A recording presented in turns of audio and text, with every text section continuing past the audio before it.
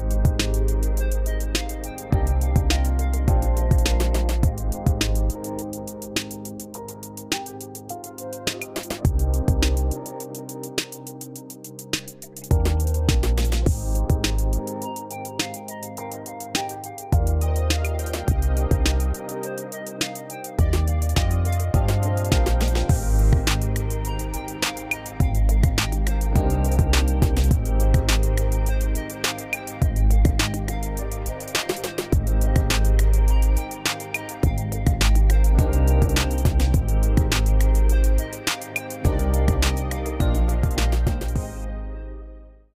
To do this trick, you are going to need a single footlock.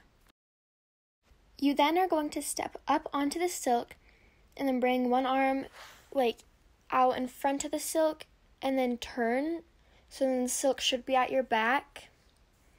And then it will feel weird, but then um, with the hand that is not on the side of your foot lock, you are going to grab your foot and the other one just lets go.